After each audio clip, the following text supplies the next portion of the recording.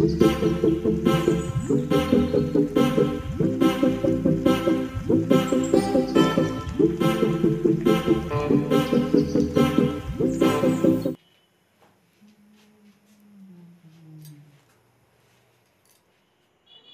Hello hello my YouTube family welcome back to my YouTube channel Kajal दीते blog में आप सबका बहुत बहुत स्वागत है। तो आज मैं आप लोगों के लिए बहुत ही स्पेशल रेसिपी लाई हूँ। तो मैगी स्पेशल रेसिपी है मैगी आज की, लेकिन वो मैं आज एकदम अलग तरीके से बनाने वाली हूँ, जो कि खाने में आपको बहुत ही यमी यमी लगेगा। और सबसे स्पेशल बात है कि आप ओनली दो मैगी से पूरे घर का खाना बनाएँ तो वो कैसे? तो चलिए वीडियो में आगे बढ़ने से पहले मैं बता दूँ कि जो अभी तक मेरे चैनल को सब्सक्राइब नहीं किए हैं तो प्लीज़ एक सब्सक्राइब कर दीजिएगा ताकि अगली वीडियो की नोटिफिकेशन आप तक पहुँच जाए। तो चलिए फ्रेंड्स ब्लॉग पे बने रहिए और ब्लॉग को फुल वॉच कीजिएगा।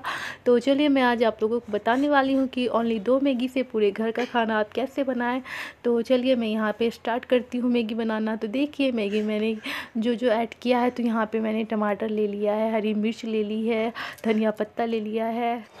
तो आप इन इन चीज़ों का इस्तेमाल करेंगे ना तो आपकी मैगी इतनी बहुत ज़्यादा यमी भी लगेगी और इतना ज़्यादा बन जाएगा ना कि आपका मतलब कि मान के चलो कभी कभी होता है कि चलो शाम में लेट से खाए या फिर कुछ नाश्ता किए हैं तो रात के डिनर में भी मतलब एकदम हल्का सा भूख है तो कुछ बना लेते हैं। तो आप अगर ऐसे मैगी बनाओगे ना तो मतलब आप पेट भर के खाओगे और आपका खाना भी हो जाएगा एक टाइम का। तो मतलब खाने में बहुत ज़्यादा टेस्टी लगेगी और मतलब खाना भी हो जाएगा, इतना ज़्यादा बन जाता है।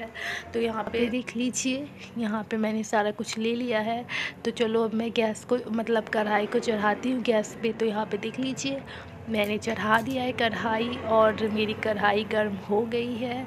तो चलो अब मैं ऑयल डाल देती हूँ और सबसे पहले मैं डालूँगी हरी मिर्च उसके बाद फिर मैं प्याज और बाकी तो मैंने सब चीज़ कटिंग करके रख ली है।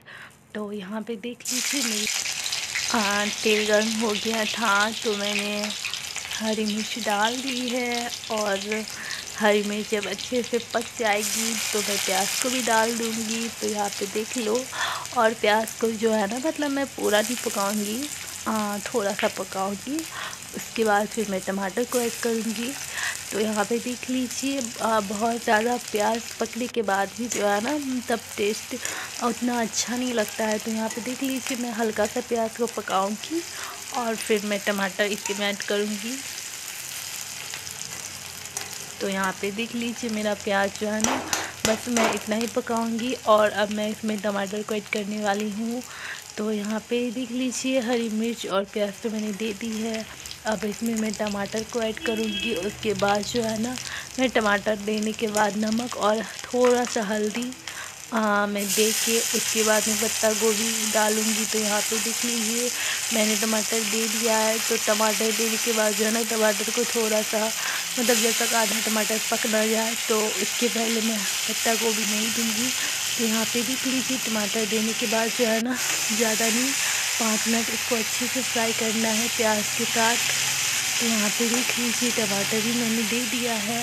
तो चलो अब मैं नमक हल्दी डाल देती हूँ। तो यहाँ पे देख लीजिए मैंने नमक हल्दी डाल दिया है। तो मैंने एक हाथ से जो है ना मतलब मोबाइल पक, फ़ोन पकड़ा हुआ था। तो फिर इसलिए मुझे रखना पड़ा। तब तक मैं मैंने नमक हल्दी डाल दिया है। तो यहाँ पे देख लीजिए मेरा टमाटर जो है ना आधा पक गया है। तो चलो मैं अब इसमें पत्ता गोभी मिला देती हूँ। तो ये पत्ता गोभी जो है ना मैंने थोड़ा सा ही लिया है। मतलब चौथाई का भी आधा लिया है।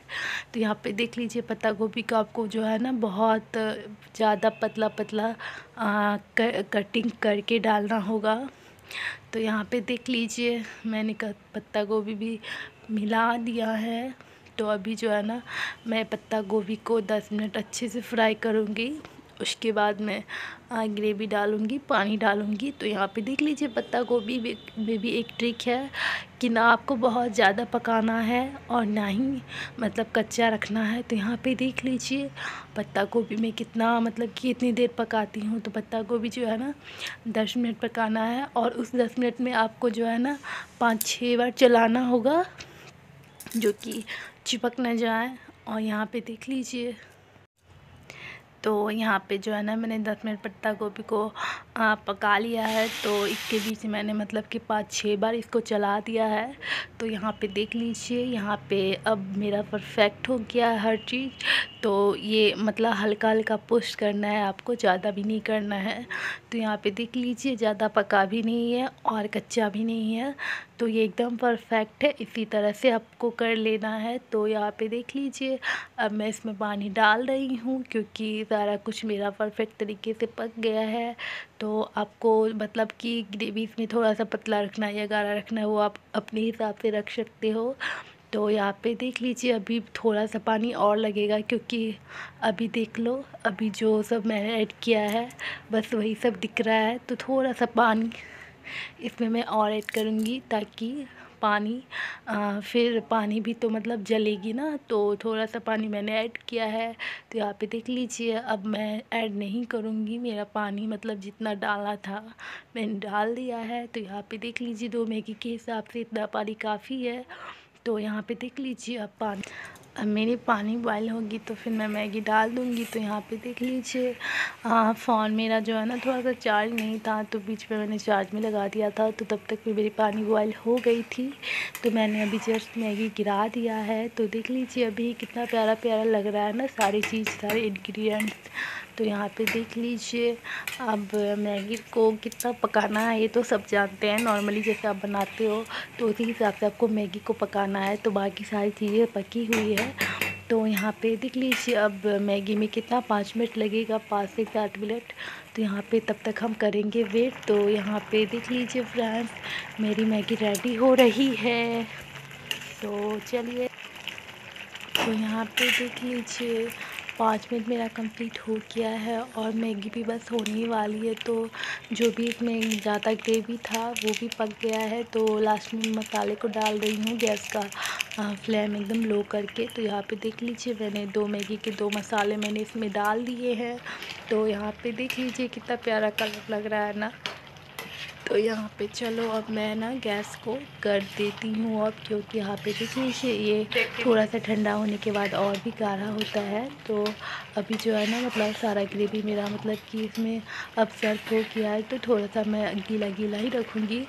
तो मैंने गैस को अब ऑफ़ कर दिया है और ऑफ़ किया नहीं है, बस ही वाली हूँ। तो बस लास्ट में धनिया पत्ता देना था तो बस धनिया पत्ता दे के मैं गैस को कर दूँगी ऑफ़ तो यहाँ पे देख लीजिए, मेरा मैगी बन गया है। और ये वाकई खाने में बहुत ज़्यादा टेस्टी लगता है। तो आप लोग भी एक बार प्लीज़ ट्राई करना पत्ता गोभी डाल के। और जो जो मैंने डाला है सब डाल के तो यहाँ पे देख लीजिए, मेरी मैगी हो गई है रेडी तो चलिए फ्रेंड्स आई होप आज का ब्लॉग आप लोगों को अच्छा लगा हो। तो प्लीज़ वीडियो को लाइक कीजिएगा। और जो भी मेरे चैनल को सब्सक्राइब नहीं किए हैं तो सब्सक्राइब करके हमें दिल से सपोर्ट कर दीजिएगा गाइस तो चलिए वीडियो को ज़्यादा से ज़्यादा शेयर कीजिएगा फ्रेंड्स तो आज का वीडियो मैं यहीं करती हूँ एंड आई होप आप लोगों को अच्छा लगे. तो चलिए फ्रेंड्स मिलती हूँ नेक्स्ट ब्लॉग में. अभी के लिए बाय बाय